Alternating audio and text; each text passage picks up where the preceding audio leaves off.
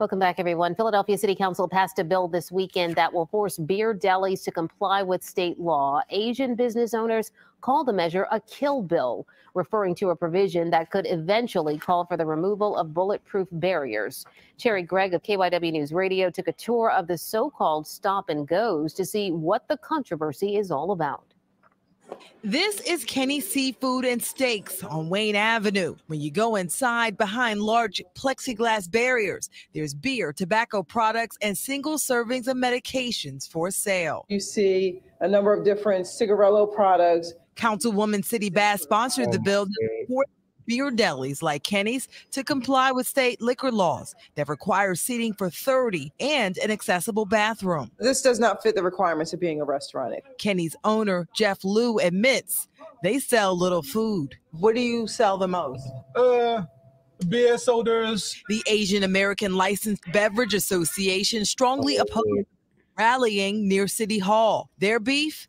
The bill gives licenses and inspections power to create rules for possible removal of the plexiglass barriers in 2021. Our city needs bulletproof glass, not violence, not blood. Cheng Moy's son luckily was gunned down in their South Philadelphia shop. More people in the die again. She now has plexiglass, and members of ALBA believe removal of plexiglass would push them out of business. So, what do you say to the business owners who claim that this bill is race discrimination? I really don't care what race they are. Oh my God. Yo. Could you imagine somebody telling some niggas that some niggas complaining about something and some white person be like, I really don't care. Right. Could you up, imagine that?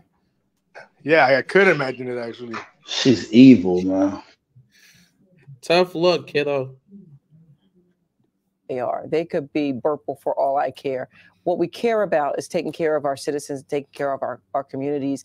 And this is a business model that is completely unacceptable, no matter who's running it. Bass says the bill, which Mayor Kenney is expected to sign, is not about the glass. It's about stopping the sale of beer, blunts, and more. But what they really are are places that you can buy products to get high. She says their goal is not to shut down the delis, but to get them to stop selling addiction producing products that Oh black people love. Fucking God, bro.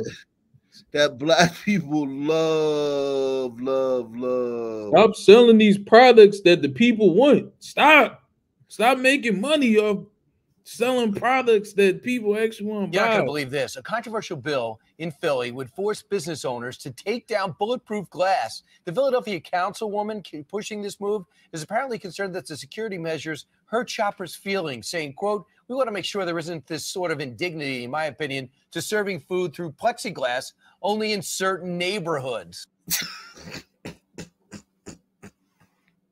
You know she hates the fact that there's Asians that own a business in the black neighborhood anyway. Oh yeah, definitely. Without a doubt. Yeah, Without a but doubt. if, if they don't own it, nobody is not gonna be a business there, bro. Niggas aren't Yo. gonna build a business there, bro. They not. And these people have that plexiglass there for a valid reason, for safety. It the only way they can operate in that area is with the plexiglass there. So sons won't build the business themselves. These people come in and build the business, but they gotta be safe so that your sons don't kill them over fucking a bag, a, a blunt or a bag of chips. Yeah. Jesus. You sold me the you sold me a you sold me a bag of hot Cheetos with only with only three chips in there. Right. You ain't gonna take my ABT card? Bang. Oh yeah. So how many times have we seen sons destroy the whole store because their EBT card declined, as if it's the person's fault behind the counter that their card declined?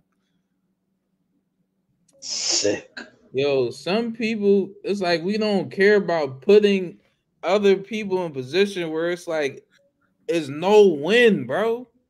You don't want to build a business, but you want to put them in the position to where anything can happen to them because they're in this violent ass area, bro. It's But no she has win, to bro. know. She has to know, right? I, that sister, she knows that she's putting them She in said danger. she right? don't care. Didn't you hear? But She, she knows don't care. Mm. Well, you saw what the Sun woman did to Jose Trump- Alba when he when when the EBT card declined. I saw what he did and to uh, and Trump uh, Trump showed up there and was cheered. Yeah.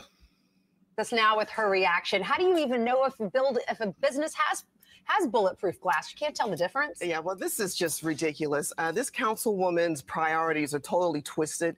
This is about the safety and security of the employees in these high crime areas. And Black who is she to come in to dictate to these small business owners, these mom and pop stores who can perhaps only afford these plexiglass or bulletproof glass to protect their employees? Who is she to come in from the government and say, you shall do this because we say so? It's, it's outrageous. And by the way, the, the owner of this uh, Broad Deli, who they want to take the glass down from, says the bulletproof glass in the store was installed after a shooting, and it saved his mother-in-law from a knife attack a little bit later on. So, I mean, is there a chance that these people just want to survive and thrive? Rich, uh, Rich writes this. Uh, he's the owner of a deli there. He says if the glass comes down, the crime rate will rise, and there will be lots of dead bodies. Yeah, and he makes a great point. I mean, the criminal knows that there's no plexiglass there to protect the employees. It makes it easier for them. You and I ride in taxi. Yeah, but white criminals in white neighborhoods, if you took the plexiglass, first of all, they don't have plexiglass everywhere in white neighborhoods. They don't have plexiglass everywhere in those neighborhoods. What is that telling you? That the only place when every store you go into, mom and pop store you go into, and then even I told you I went to Target in Maryland, PG County a couple months ago, and the socks were under lock and key. I had to go find the manager to get a pair of socks. Ain't PG County one of the most uh well to do yeah. like uh uh nigga counties? It's, it's second second to the um to Charles County now, but yeah, it, it's it's the second most uh, affluent black county in the country. You get And- no and you- relief anywhere. In the Target, you gotta go find the manager to get a pair of socks.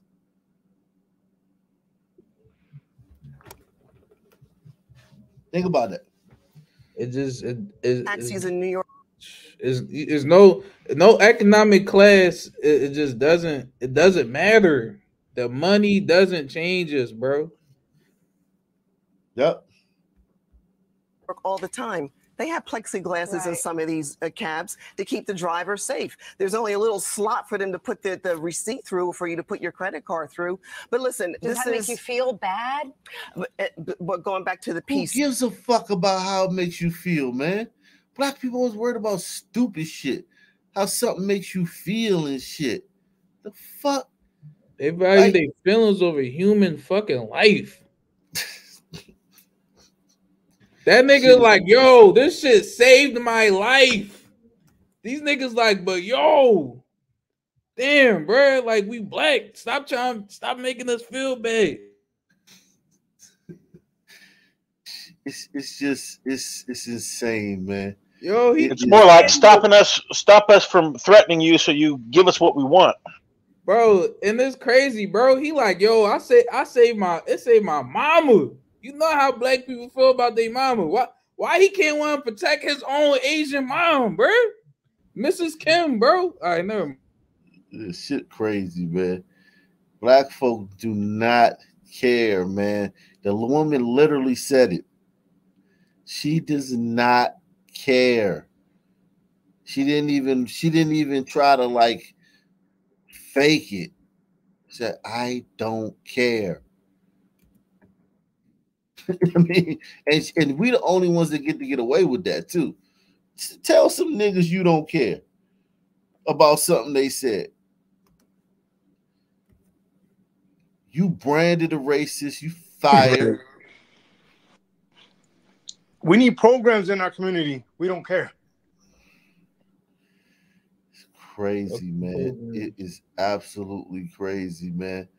Um, and I'm telling you, man. Um, this is when you when you think about when you think about um b- black people and and and and and having a store in a black neighborhood, how um how um hard it is. Like think about it. Like it's just it's just hard. we are hard people to do business with, man.